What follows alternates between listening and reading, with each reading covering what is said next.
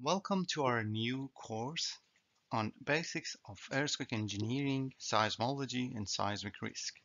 In this course, I will explain basics of seismology, which I will talk about earth structure, layers, and how earthquake originates and develops. In the earthquake engineering section, I will discuss more about the key parameters used in structural seismic design and different methods of seismic analysis. Finally, in the seismic risk section, I will talk about seismic risk parameters and also effect of earthquake on a built environment and how to perform mitigation measures. To give you an introduction about myself, I'm a professional earthquake risk analyst with more than five years of national and international experience and more than four years of a solid background on structural engineering and analysis. I've also have a PhD in earthquake engineering and during my career as a university lecturer, I have taught earthquake engineering to more than 1000 students. I've created this course to give you the skill and knowledge to be prepared for the earthquake engineering design and make yourself familiar with the fundamental of the seismic behavior of the structures. What you will learn in this course.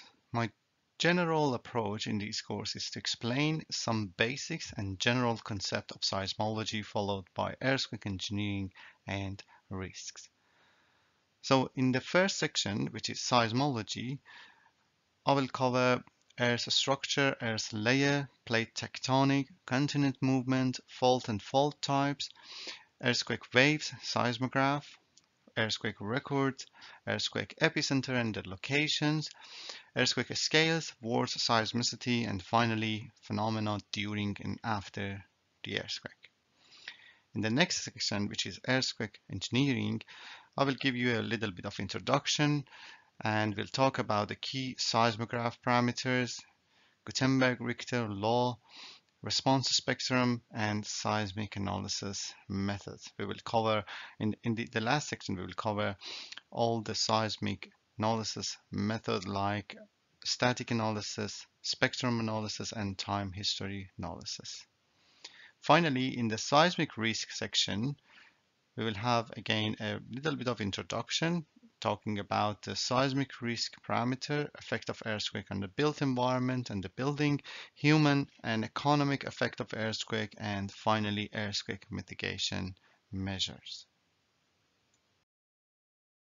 This course is beneficial for civil and geotechnical engineering students, structural and earthquake engineering students, graduate engineers, and structural engineers ranging from the beginners to intermediate level who would like to refresh their knowledge on seismic designs. By the end of this course, you will learn about the fundamental and detailed mechanism of the earthquake and seismic design. My goal is to add value to my students by conveying my professional and practical experience as well as explaining the theoretical concept behind the design so please do not hesitate to ask if you have any question through the message box here on Udemy or any other social media links which we have been provided in our page.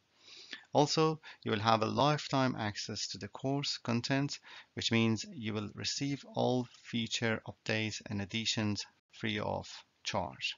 Thanks for watching and hope to see you inside the course.